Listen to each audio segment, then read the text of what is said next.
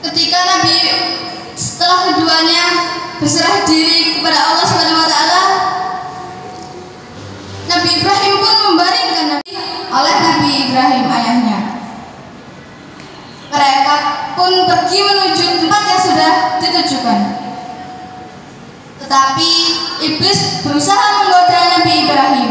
Iblis berkata hai Ibrahim apakah